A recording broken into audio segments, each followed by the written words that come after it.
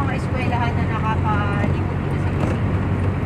Kasi meron ditong school, invented dito elementary school. Sa may postema lang. Tapos meron dito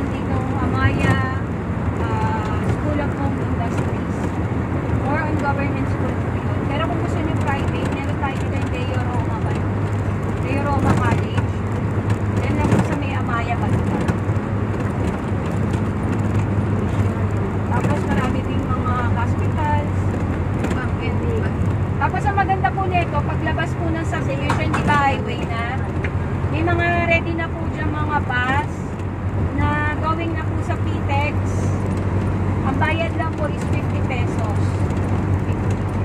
Tapos ayun na, ah, ibababa na po nila kayo sa PTEX. Then meron din naman po mga bus na logo. Meron din pong MOA.